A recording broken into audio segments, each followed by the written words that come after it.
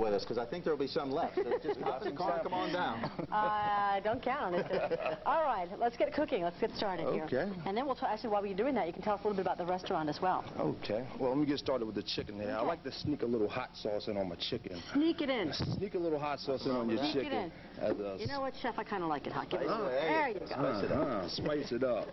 Let me get right over here to my batter. Oh, now, what do you have in these? T- talk to us about these two batters. The batter. This first one is the chicken batter. This one? Uh, it's about four cups of flour, along with about one cup of seasoning salt and a few secret ingredients. Well, I see it's not the color of flour. We've got some. We've got the color is a little bit different. All right, so those have to stay secret. Okay, let's get the chicken in there.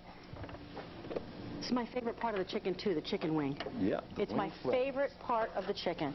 Okay. You know, I'm looking here. Misa, you've been here, obviously, a little longer than I have. Do you ever remember, because I certainly don't, four burners This going man, at once? No, this man This is a first, business. isn't This is it? a first, and he, we're not kidding around, Chef, are we? Nah, this is Look, wait, serious you, for, you business. forgot this one little Oh, errant one. piece of chicken. Get in there. in there. All right. All righty. And we're gonna move on to the fish. Nice. Now this is another different, a different kind of a batter. Right, that's a mixture of about two parts corn flour with a little cornmeal. Oh, I see that.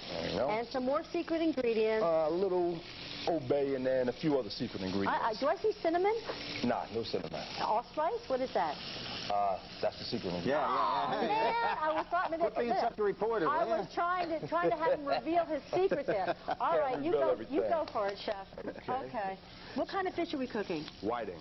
I love whiting. I had it last night. You're giving everybody a variety here today, Chef. Yeah, I we would gotta assume mix that's it the up. case at the restaurant as well. Definitely. We've got a, a wide wide menu at the at the place down there in North. Um, and uh, we do a lot of catering as well. So if you guys need anything catered up, any special events, retirements, or just birthday parties, give us a call. Nice. We're, we're, we're there. Now, Chef, you call it soul delicious. Obviously, we're talking about soul food here.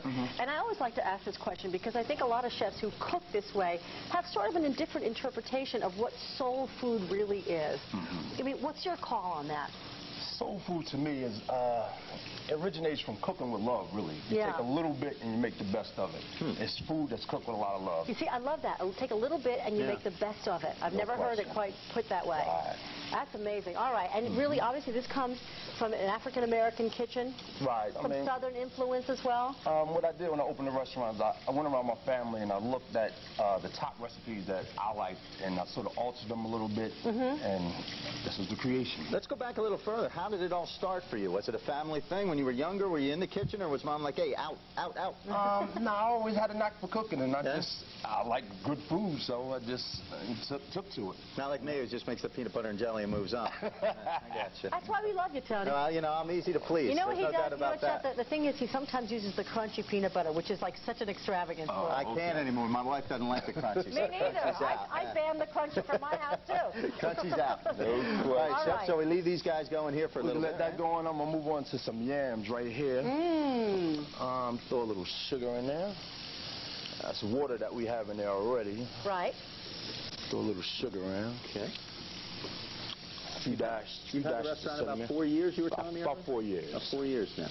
Yeah. Which is good. That, you, do you start to get to a comfort zone? You, you, that first year is a little nerve-wracking. The second year, you're, you're making sure you work hard now. That, Um, every day is hard work. Yeah. I mean, because it's heat, it's exhaustion. I mean, you're only as good as your last meal in this business, so you, you got to be on top of your game every day. Right. You got to stay sharp. Right. Good. Okay. And this, This is, is. this is nutmeg. Oh, I love nutmeg. Very good. So we got the nutmeg, the cinnamon, and the sugar along with the water, and that's going to crystallize and make like a, a, a caramely glaze. Okay, I'm going to rush you along. We have about a minute, minute and a half, and I know that it's always tight here. Okay. Now you've got these yams. You've had you sliced them already. Yeah, they're already pre-sliced. Oh, Teflon fingers. Ah, Drop one in there. And let me sprinkle a little bit more cinnamon on top of those. And let those cook. And no salt. You don't use any salt. It's basically very sweet. We use as little salt as possible, mainly Yeah. seasoning salt. And I'm gonna move on to the cabbage. Just Yep. pick up the pace a little bit. The chef will be Sauteed. back, by the way, folks. He'll, he'll have another segment here. as well, with a little onion. Mm-hmm. A little pepper. Okay. Drop in the cabbage. There. Everything sort of take care of itself. I have some finished product all the way down here at the end. Oh, wow.